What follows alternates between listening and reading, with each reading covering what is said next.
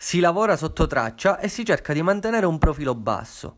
E questa è la strategia portata avanti dagli uomini, in primis dall'avvocato Enzo Caponnetto, socio attuale dell'Acregas, nonché mediatore con il gruppo asiatico, che stanno lavorando al passaggio delle quote societarie da Silvio Alessi agli iraniani.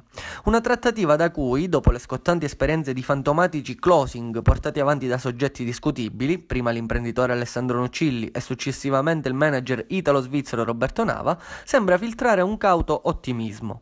In settimana sono arrivati ad Agrigento due emissari del gruppo asiatico. Si tratta del direttore marketing e di un consulente esterno che, incontrando i vertici della società agrigentina, hanno voluto salutare la squadra e mister di Napoli e visitare tutti gli impianti sportivi della città, dallo stadio Seneto, ancora oggi indisponibile per la questione illuminazione, ai campi di allenamento di Fontanelle e quello del villaggio Mosè, usato oggi per centro di stoccaggio di rifiuti.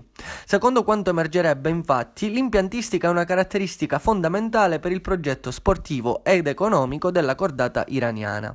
Dopo aver effettuato il tour, i due emissari hanno fatto ritorno in Iran per relazionare quanto avvenuto nella città dei templi. L'Akragas, tramite una nota apparsa sul sito ufficiale, ha fatto sapere che è attesa risposta a breve e già con l'inizio della nuova settimana, probabilmente lunedì, potrebbero esserci importanti novità su questo fronte.